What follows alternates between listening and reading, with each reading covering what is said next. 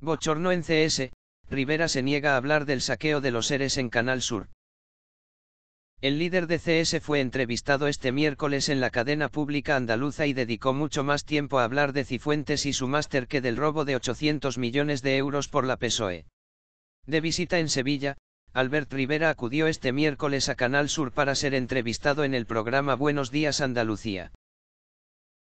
Ello con la declaración de Manuel Chávez en el juicio de los seres el lunes aún caliente. Y en medio de las críticas del PP porque en la agenda de Ciudadanos no ha estado estos días el saqueo de Andalucía, sino únicamente el máster de Cristina Cifuentes. La sorpresa saltó cuando la entrevistadora, Blanca Rodríguez, le preguntó al líder de CS por las declaraciones de los expresidentes de la Junta en el juicio de los seres.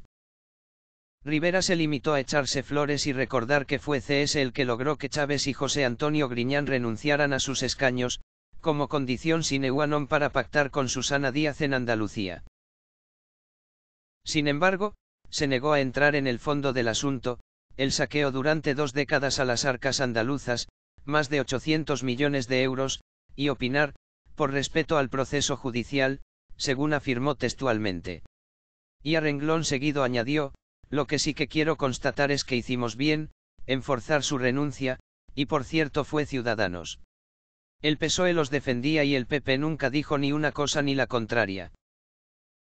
Rivera dedicó poco más de un minuto a hablar del mayor escándalo de corrupción en Andalucía.